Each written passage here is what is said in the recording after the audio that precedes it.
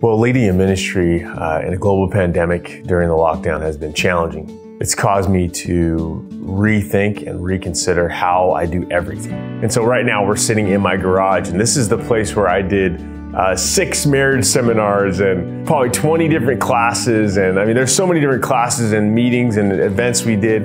I would say one of the leading things we, we can celebrate is just uh, how many people were attending Calvary as just kind of spectators that really became members of Calvary, became committed to Calvary, to the mission of our church. So I, I got to kind of have a front row seat at meeting a lot of those people in class 101 and seeing them engaged through coffee and prayer and people just being able to articulate their desire to be involved in the mission of our church. We know the numbers don't mean everything, but for us, it's great to see that people are connecting the ministry we have. And so in Class 101, we had over 150 people take Class 101, become members. For our men's Bible study, we went from like 40 guys to about 120 guys on a weekly basis meeting in the Bible study. We saw an increase in over 100 and about 130 women that joined our Wednesday Women's Connect and our also our Wednesday morning study. And then we started a marriage a marriage seminar from uh, June all the way to December. We had 270 couples.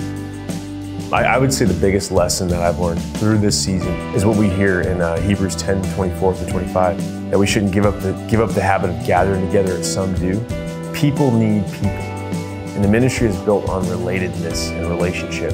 Everyone needs someone that's in their life supporting them spiritually, whether it's applying uh, God's word to their life, uh, praying with someone, or encouraging them, going on walks, all those things. People need, of course, relationships, we, but people most importantly need spiritual friendships. Discipleship and adult ministries is a place where people are finding that.